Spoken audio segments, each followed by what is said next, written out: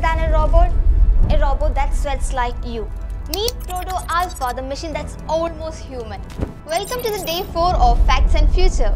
Unlike traditional robots with rigid gears and motors, Proto Alpha moves with over 1000 artificial muscles known as myofibers, powered by pressurized water.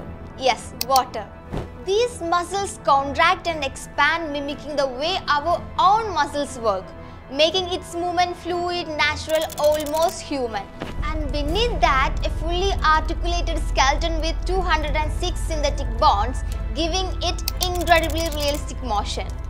Proto Alpha, created by Clone Robotics, features a water-based cooling system with micro channels embedded in its synthetic skin.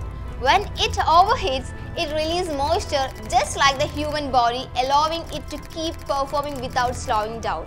But Proto Alpha isn't just about movement. It has depth cameras, pressure sensors and an AI-driven neural network, allowing it to see, feel and respond to its surroundings in real time. It's not just a machine, it is a system that learns, adapts and reacts.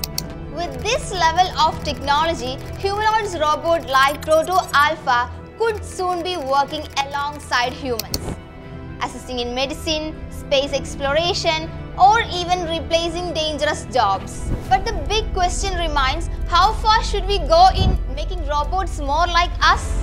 The line between human and machine is blurring. Are we ready for what comes next?